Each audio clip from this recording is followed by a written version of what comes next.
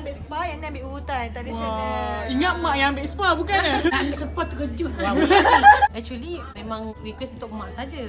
Jadi bila dia kata walk in boleh. Oh memang rezeki sebab memang dah lama booking. Sis memang orang spa. Memang setiap bulan memang akan habiskan Untuk untuk, spa. spa. Tapi sini memang terbaik. Memang lain daripada yang lain sebab sis seorang yang pegeli. Susah nak disentuh sebab dia memang tarik point simple urat dia memang the best. Memang orang cakap dari segi nampak tak berseri ni. Oh, dari masuk ni dah cari.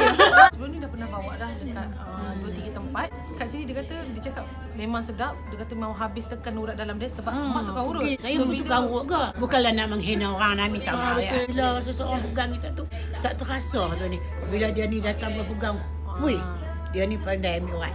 Hak ni betul ya? Ah, ha, betul. Ha. Tahu kan cara urat simpul, angin.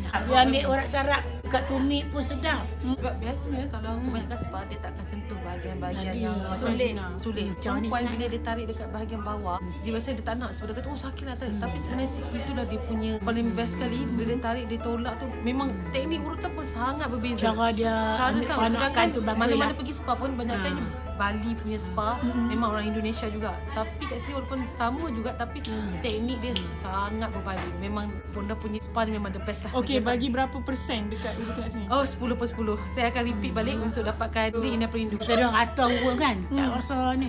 Dapat-dapat ni memang sedapnya datang Ah. lagi lah. Memang mahal harga. Tapi dia kaji balik. Berbaloi dengan makan boleh. Urutan dia tu puas.